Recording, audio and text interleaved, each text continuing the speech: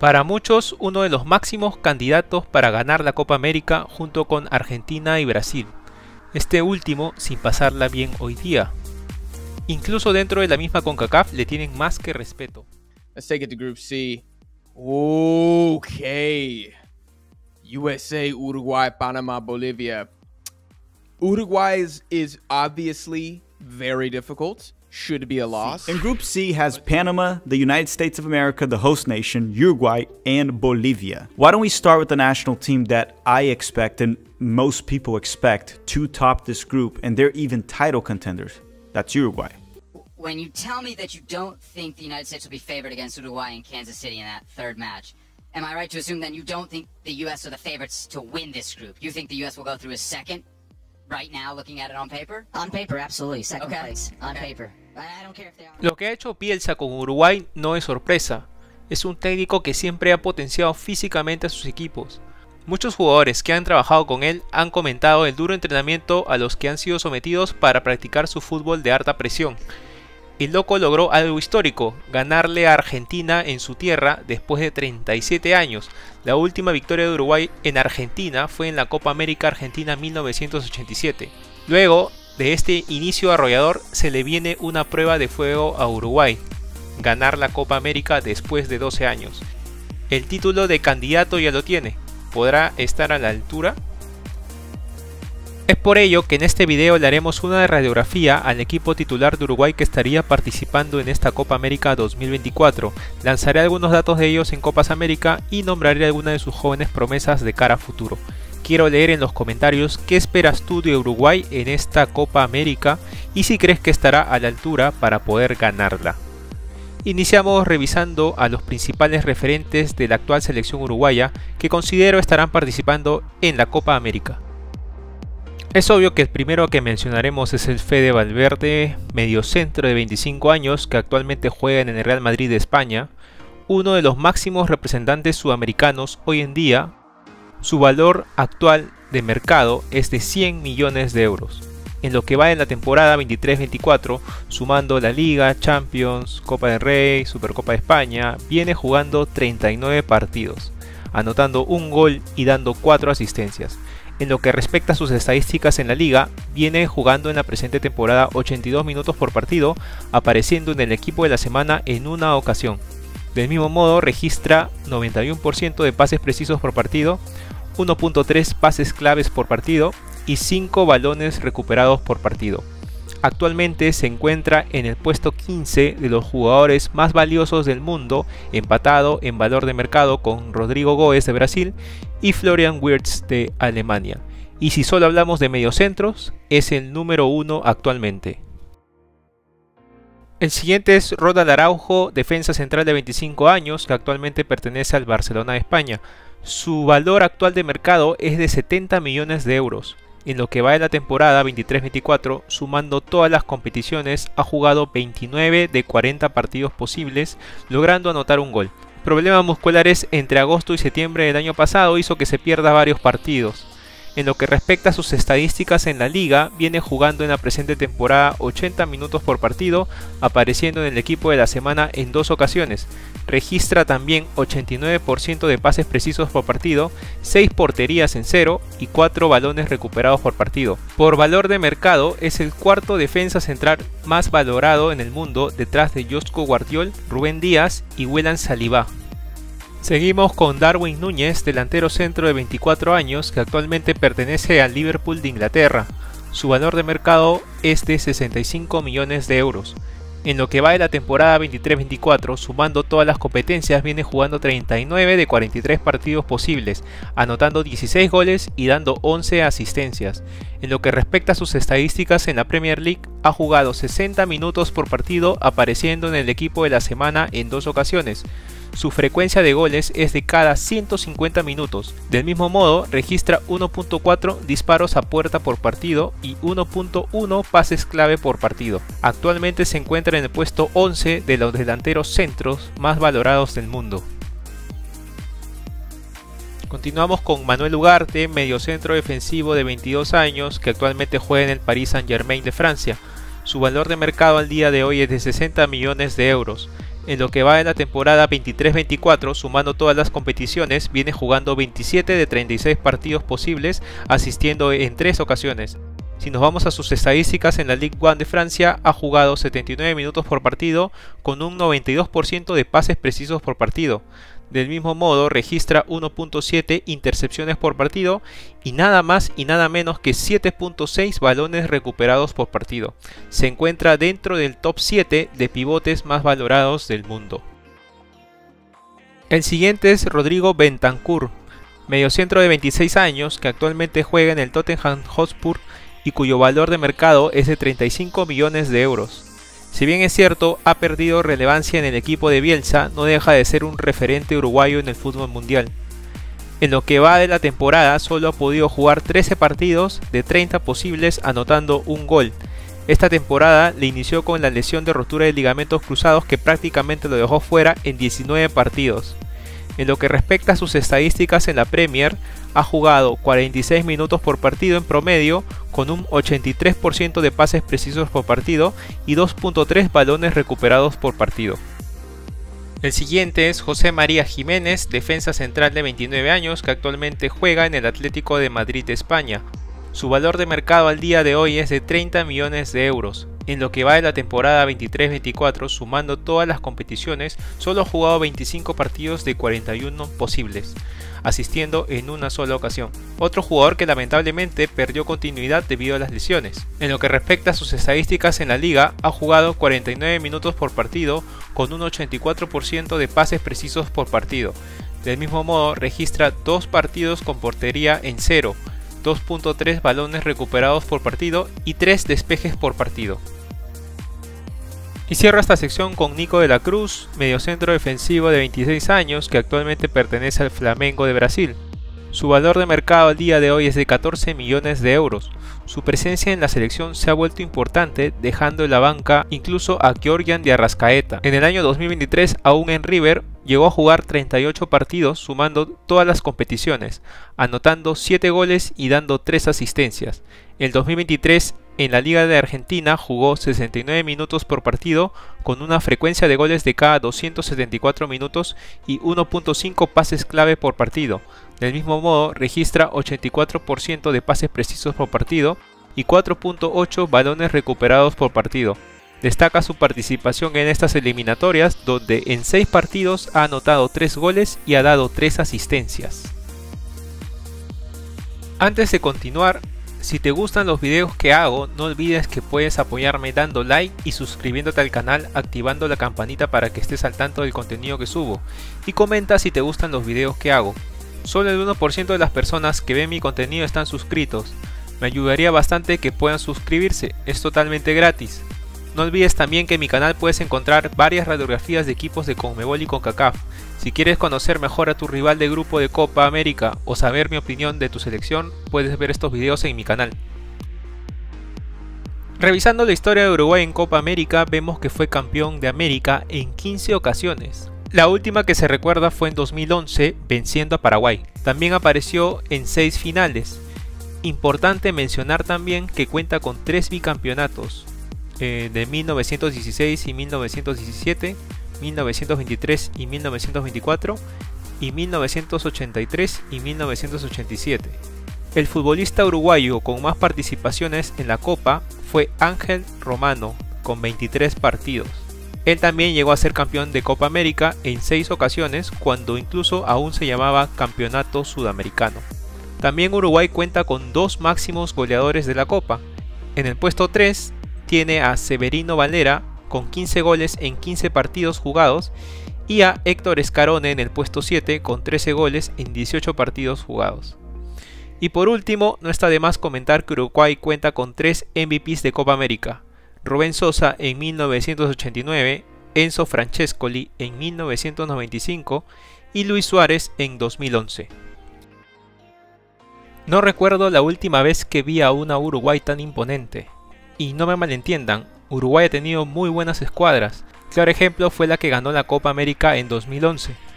Sin embargo, esta Uruguay acá no solamente tiene un equipo que juega de una manera compacta, sin otorgar muchos espacios, sino también tiene una gran generación de jugadores. Si ya hemos visto a Bielsa armar equipos competitivos con jugadores no necesariamente de clase mundial, dejando de lado las selecciones, casi siempre ha dirigido equipos de mitad de tabla en Europa o de segunda división, como es el caso del Leeds United. Sin embargo, él ha entendido cómo trabajar con sus jugadores para poder perfeccionarlos físicamente, potenciar sus fortalezas y enfocarse en desarrollar sus carencias. Es un técnico que no tiene muchos títulos que digamos, y raro hablar bien de un técnico que no ha cosechado muchos títulos, sobre todo en los últimos años, y es que el problema que ha visto Bielsa en muchos de los clubes por donde ha pasado es el desgaste físico por el estilo de juego que plantea que vuelve propenso a las lesiones a su plantel con el tiempo. Y eso se ve mucho más en los clubes, ya que tienes una plantilla acotada para una temporada. Sin embargo, en selecciones la situación podría ser diferente dependiendo de qué selección es. En el caso de Uruguay, creo que si bien es cierto, tiene 4 o 5 jugadores de clase mundial, los demás jugadores que tiene son jugadores que juegan en un fútbol competitivo y otros son jóvenes con una proyección tremenda, por lo que es positivo para el futuro de la selección charrúa y los objetivos que tiene el entrenador para su selección. Si a alguien le interesa saber más del trabajo de Bielsa desde dentro, puede ver el documental Take Us Home, Leeds United, que está en Amazon Prime. En fin, me cuesta hacer cambios a la alineación de Uruguay por lo bien que está funcionando, pero quiero mostrar primero la alineación que yo creo que va a utilizar Bielsa y después mostraré alineaciones que yo quisiera ver. Considero que la alineación que ha funcionado y asumo va a seguir utilizando es la 4-2-3-1, con Sergio Rochet del Inter de Porto Alegre en el arco. La línea de 4 por derecha, como ya ha venido apareciendo en Uruguay, Ronald Araujo del Barça, pareja de centrales Sebastián Cáceres del América de México y José María Jiménez del Atlético de Madrid, como lateral de izquierdo Matías Olivera del Napoli, pareja de contención que en verdad asumen más el rol de volantes mixtos son Fede Valverde del Real Madrid y Manuel Ugarte del PSG. Como extremos, por el lado derecho, que tal vez sea el único que para mí no me termina de convenciendo del todo es Facundo Pelistri, que hoy está prestado en el Granada. Por izquierda aparece Maximiliano Araujo del Toluca como media punta, Nico de la Cruz del Flamengo y como delantero centro Darwin Núñez del Liverpool de Inglaterra. Esta es la alineación que yo creo sería el equipo titular de no mediar inconvenientes con lesiones. ¿Qué cambios me gustaría ver a mí? Pues en los extremos sobre todo, como comenté, Facundo Penistri es el único que no me convence al 100%. No es que lo haya hecho mal o terrible, pero creo que es el eslabón más débil del equipo. Facundo Torres lo ha venido haciendo bien en la MLS el año pasado, del mismo modo, haría también una variación por izquierda, no por que el Maxi Araujo lo haya hecho mal. Por el contrario, creo que los cuatro primeros partidos los jugó 8 o 9 puntos, siendo importante. Sin embargo, desde que Rossi llegó a Columbus, ayudó a que el equipo pueda ser campeón y fue pieza clave. No está de más volver a intentar con él a ver si puede adaptarse a este nuevo colectivo. Y si es así, por lo menos estarías ganando una pieza de recambio. Otra opción por izquierda podría ser el mismo Cristian Olivera, ya lo hizo jugar ahí contra Bolivia y pues no trascendió tanto que digamos, pero es un jugador joven e interesante. Y el otro extremo que quisiera ver con, el, con la selección mayor es Luciano Rodríguez, que viene de ser goleador del preolímpico. Se paseó en ese torneo y podría ser otra opción muy buena o una interesante pieza de recambio. Ahora, Uruguay tiene recambio interesante en general. ¿ah? En la defensa hay nombres como Santi Bueno del Wolverhampton, Facundo González, eh, joven de la Sampdoria, o incluso experiencia como Sebastián Coates. Eh, laterales tiene a Joaquín Piqueres del Palmeiras, Matías Viña del Flamengo o Lucas Olaza del Krasnodar.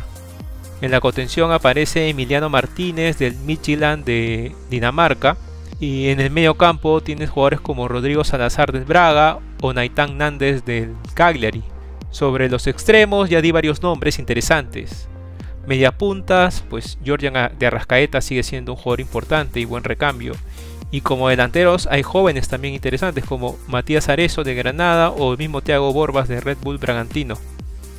También veteranos como Jonathan Rodríguez del América o el mismo Lucho Suárez, ¿no? que ya está terminando un poco su carrera, pero son solo algunos nombres que tiene Bielsa para lo que resta de las clasificatorias y Copa América. ¿Y tú qué opinas de esta alineación? ¿Concuerdas con lo que te muestro? ¿Te gustan mis cambios o tomarías en cuenta a alguien más? Te leo en los comentarios.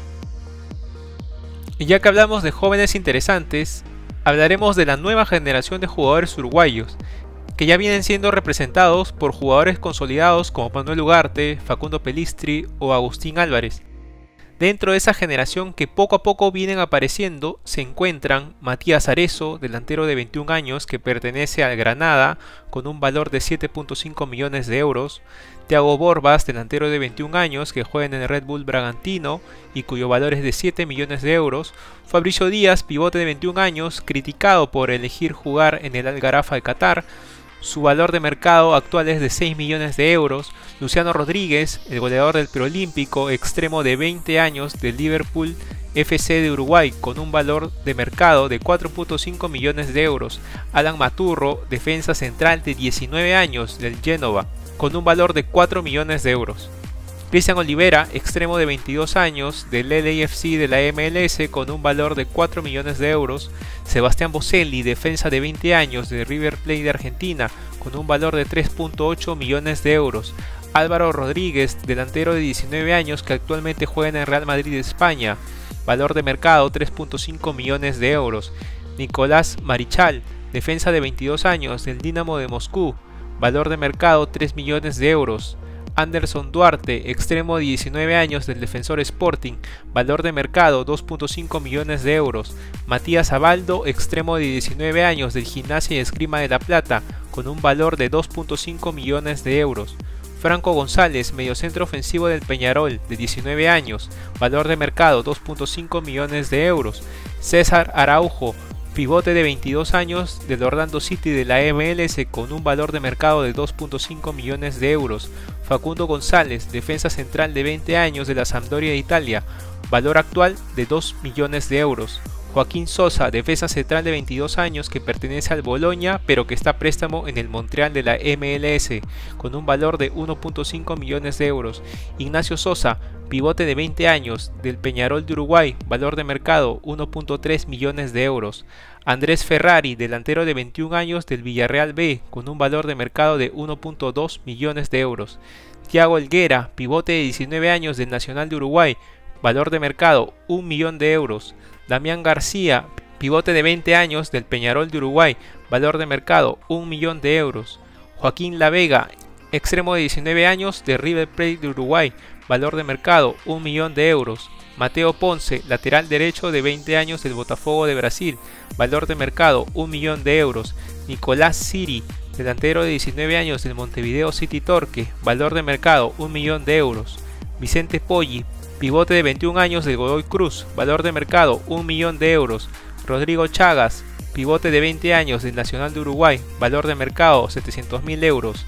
Santiago Omenchenko, pivote de 20 años del Real Oviedo de España, valor de mercado 500 mil euros. Lucas Agassi, extremo de 18 años del Defensor Sporting, valor de mercado 500 mil euros. Alfonso Montero, defensa de 17 años que juega en la Juventus Sub-17, hijo del histórico Paolo Montero, ya ha sido parte de la selección Sub-17 de Uruguay. Sebastián Giacomazzi, pivote de 17 años que juega en el Leche Sub-18 y que ya representó a Uruguay también en la Sub-17. También aparece un joven Elías García de 15 años en el Pau Thessaloniki Sub-17 de Grecia, pero no encontré foto de él. Si por ahí se me pasó algún otro jugador importante, ayúdame poniéndolo en comentarios, por favor. Y para ir cerrando el video nombraré algunos jugadores que tienen ascendencia uruguaya y que también tienen chances de vestir la celeste. Está Thiago Suárez, nacido en California, defensa de 1,96m del New England Revolution de la MLS, 18 años y con un valor de 175 mil euros. Ya ha sido convocado por la Sub-19 de Estados Unidos. También está Manu Romero, nacido en Carolina del Norte, lateral izquierdo en las divisiones menores del Real Madrid. Ya ha jugado por la sub-15 tanto de Estados Unidos como de Uruguay, e incluso podría ser también convocado por España.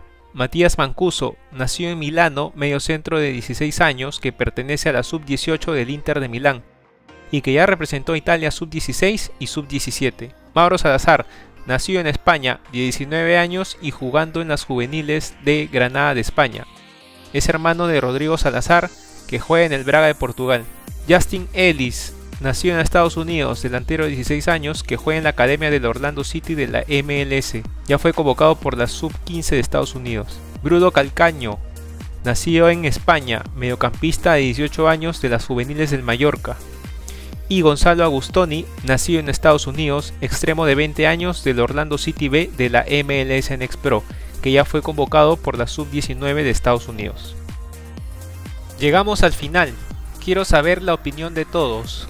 ¿Creen que Uruguay será el campeón de esta Copa América 2024? ¿Podrá Bielsa ganar su primer título con la selección uruguaya? Te leo en los comentarios.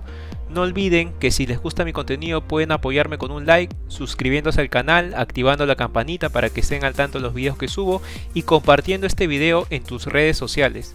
Si quieres que haga un video de alguna selección en particular, lo puedes dejar en los comentarios también.